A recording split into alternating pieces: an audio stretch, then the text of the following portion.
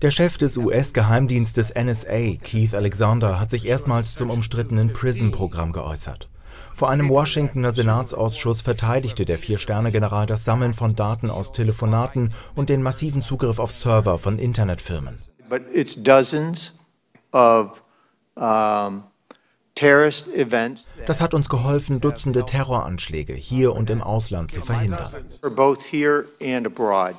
Darunter sei ein Terrorplot gegen die New Yorker U-Bahn 2009 gewesen.